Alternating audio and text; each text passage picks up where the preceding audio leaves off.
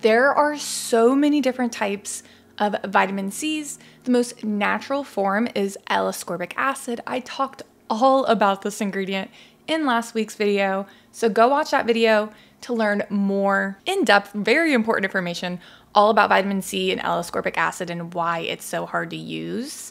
So for that reason, instead of using L-ascorbic acid, we're going to be using this ingredient called ascorbyl glucoside. I got my ascorbyl glucoside from Brambleberry. You can get 0.2 ounces of it for $10.99 or one ounce for $49.99. And as of right now, they are the only supplier I know of who sells it. It's been shown in vitro studies to be a potent antioxidant.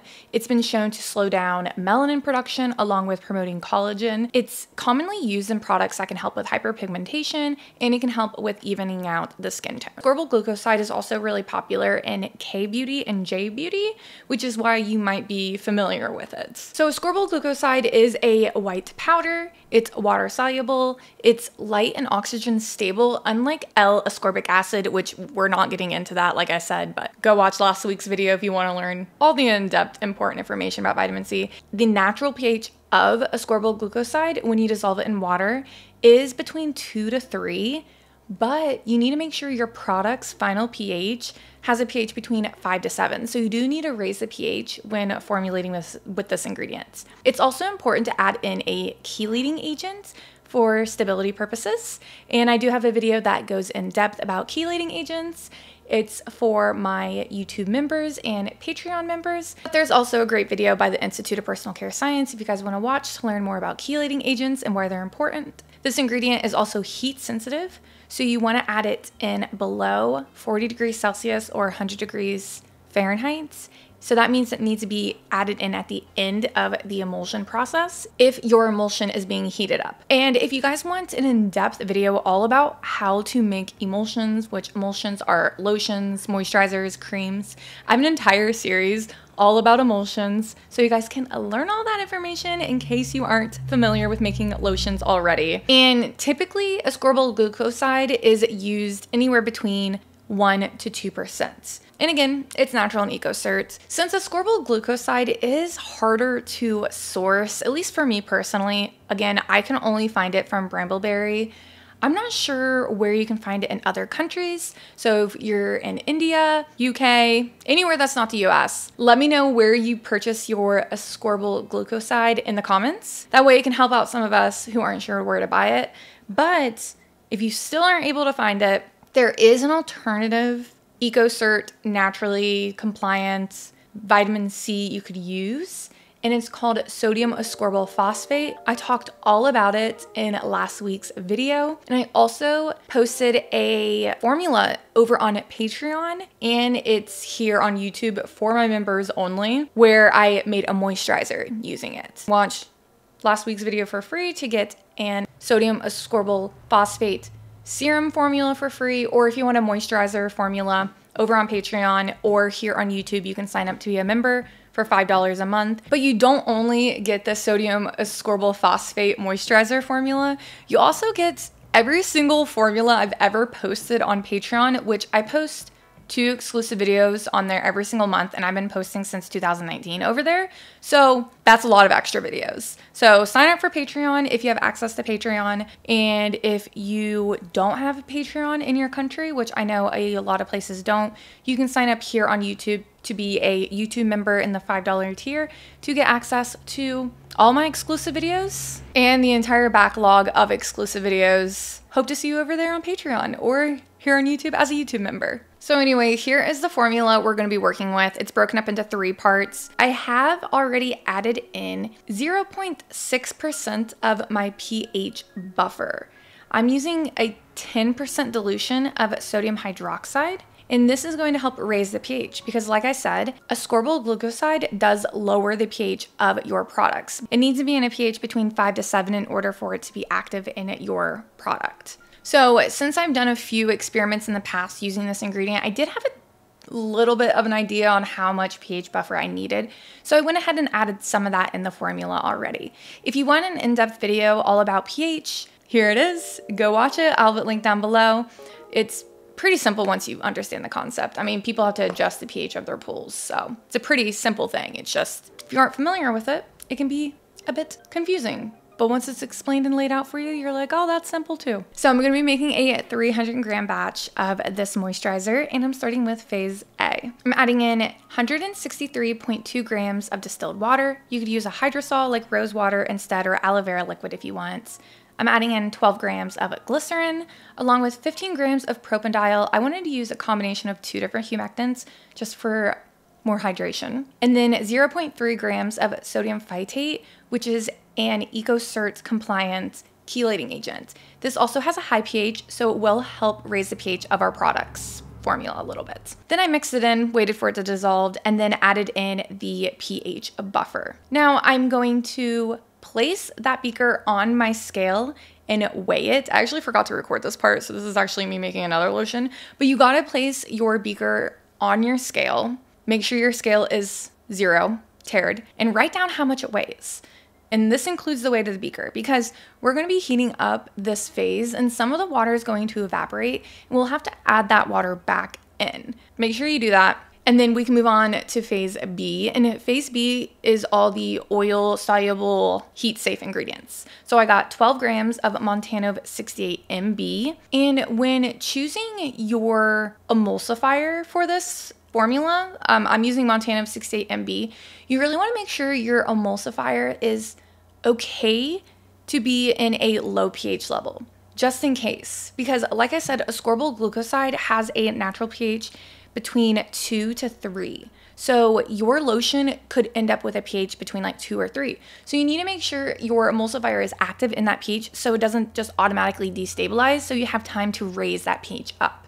So make sure your emulsifier is active anywhere between like a pH of two up to seven just to be safe. And the Montanov 68 MB is EcoCert, it's natural, and the INCI name is cetearyl alcohol and cetearyl glucoside but you can use any emulsifier you want. If you care about being eco-cert and natural, make sure it's that, but also make sure it can be in a low pH, like two. We're adding in three grams of cetyl alcohol. This will help stabilize the formula and thicken it up a bit.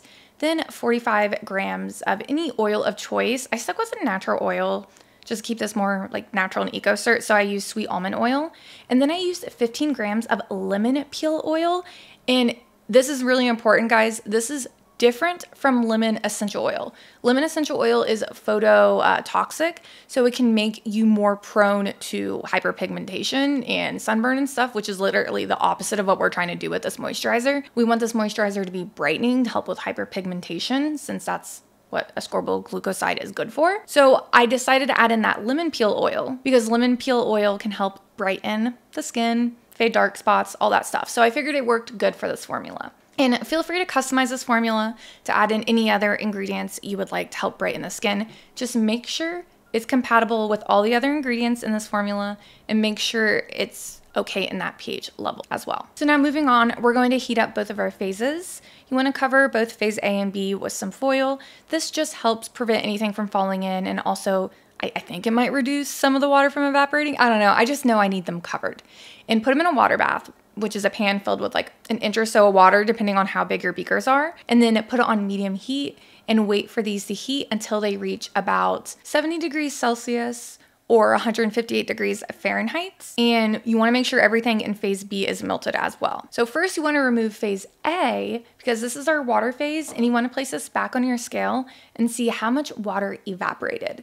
Normally it's like one gram or less. It just depends on how long you left it on the heat. So replace that water, add that water back in. I actually just add in room temperature distilled water and that seems to work fine. And then you can go ahead and remove phase B from heat and you can pour your phase A into B and then immediately mix with your immersion blender. And you do want to make sure you're using an immersion blender, a hand mixer won't work. Then you can just set that to the side and let everything cool. Now we can work on at phase C. These are the heat sensitive ingredients. I have 15 grams of distilled water in my beaker and I added in 6 grams of licorice root extract. And then I added in six grams of the ascorbyl glucoside. The distilled water and the licorice root extract will help dissolve this ascorbyl glucoside. And also licorice root extract has some brightening benefits. Then I added in three grams of Euxyl K900. This is an EcoCert compliant preservative. You can use whatever preservative you want.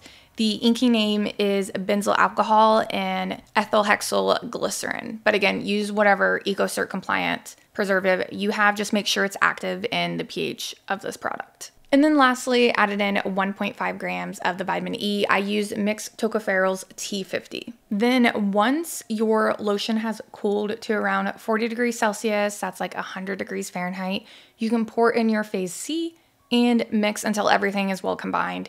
And once it has returned to room temperature, go ahead and cover it with plastic wrap and let it sit overnight. And then the next day, you want to make sure you check the pH. You could also check the pH the day before, but I had things to do. I didn't have time. Check the pH. My natural pH was 3.48. So the pH was raised a little bit due to the pH buffer, but it didn't raise enough. It needs to be between 5 to 7. Let me show you guys how I made the pH buffer because we're going to have to add in a little bit more. So you want to start with sodium hydroxide, not potassium hydroxide. Make sure it's sodium hydroxide. You can get this on Amazon. I'll have some link down below. And you want to add 10% sodium hydroxide into 90% distilled water. So pour the sodium hydroxide into water. Don't do it the other way around. Make sure you have on long sleeves. You do this outside, have a mask on, have gloves, because it can be a bit dangerous. Soapers do this every day. Once you understand how to do it, it's pretty simple as long as you follow the safety precautions. Don't let it get on your skin. And you'll notice it heats up and sizzles right after you pour the sodium hydroxide into the water. That's fine, that's normal. Let it just chill until it stops sizzling. Wait for it to clear because it'll get all smoky. Wait for it to clear, and then basically after that, you're like, all right, I, I, can pick you up and bring you inside. That's about the time I bring it inside. Then you want to let it cool completely to room temperature before you store it away. And you want to make sure you store it in really thick plastic. I've read that it should be HDPE number two plastic. So make sure it's just it's thick plastic. That's the best place to store it. Don't store it in glass. I think I've said that in the past to do that, and you shouldn't do that because it can actually explode over time. And make sure you label it. Yeah, this clip is from 2021. Yeah, this will this buffer is normally good for about a month. You don't need to put a preservative in it because it has such a high pH. It's naturally preserved, similar to soap. And you can just keep this stored in a dark cabinet and use it anytime you need to raise the pH of your products. Again, just make a new one monthly. You can also buy a stock of this. I think it's 20% sodium hydroxide dilution from Formulator Sample Shop if you don't want to make your own, and you can use that to help raise the pH.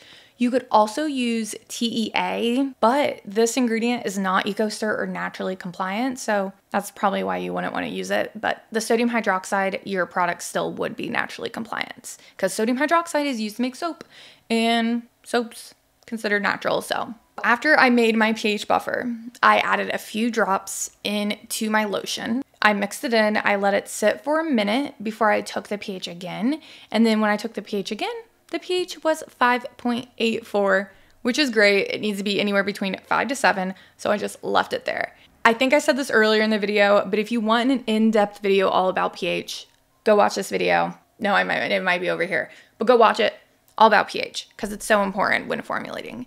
And for packaging, I actually decided to use these airless pump jars.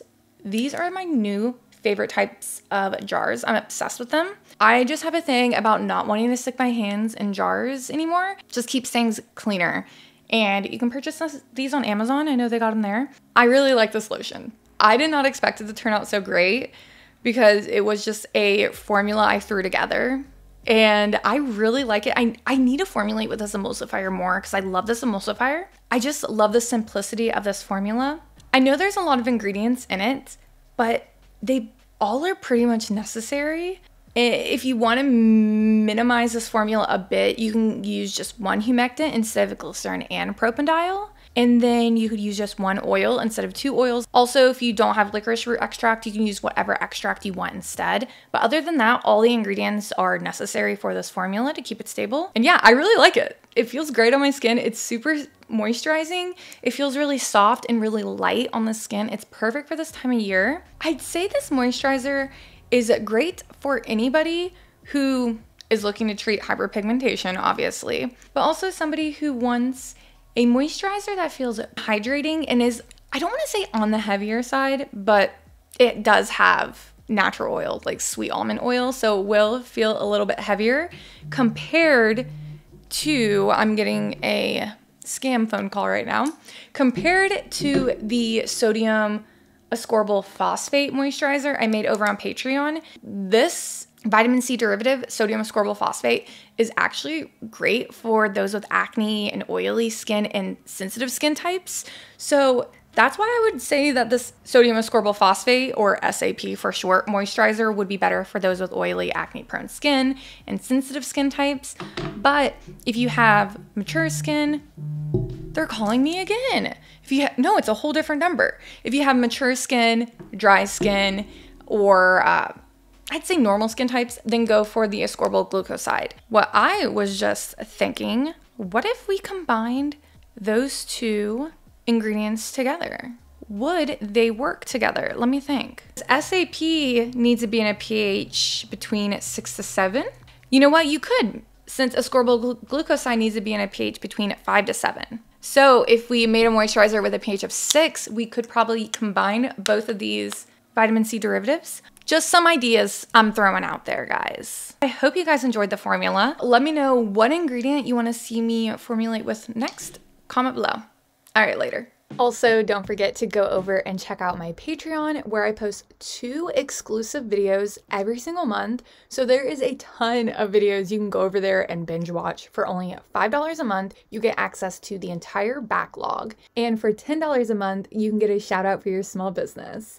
So let's shout everybody out. naturesfarmgirl.com, Let's Blend LLC at Stardust Bath and Body on Instagram, hempygirl.com, shoplevis.com, Owl and Lily on Etsy, embracebeautyessentials.com, Legendary Bath and Body, Astari Apothecary, Reviga Cosmetics here on YouTube, exorebb.com, pardonaturals.com, Natural State Skin, thenatureindus.ca, nearcatalier.com, use the code on the screen for 20% off, earthandambernaturals.com, Shark City Naturals, Day to Relax Spa, Crowned Glory LLC, LH Scented Soaps and more, Janae Rose, Health Nut Beauty on Etsy, velvettemptations.com, Journey Rose Beauty, chrbrands.com, Homestead Life Goods on Etsy, NellaBathAndBody.com, Madhouse Mama Soaps, xpo.com, Mystical Morning on Etsy, and the rest of these brands haven't launched yet. SkinByDevu.com,